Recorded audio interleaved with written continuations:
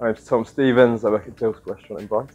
So today we're going to show you a dessert apple and celeriac tart tatin. So a bit of a take on a, on a classic, haven't messed around with it too much. We take the apples and celeriac, we then cut them into ribbons, we roll them up.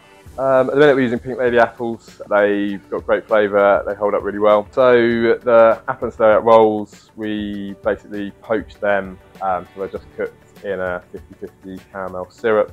Um, they are then, we line a tin, caramel goes into the bottom, the roll goes onto that, uh, then we do a layer of frangipane, uh, maybe hazelnuts,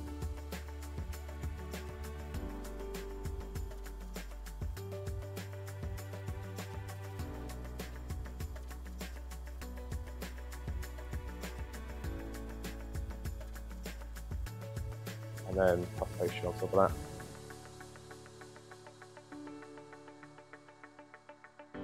That's going in, we blind bake that for 10 minutes and then gets baked again, lid off another 10 so plating up the tatin, um, we carve that in half, that get, then gets brushed uh, with the syrup made from the reduced uh, liquor from the apples and celeriac.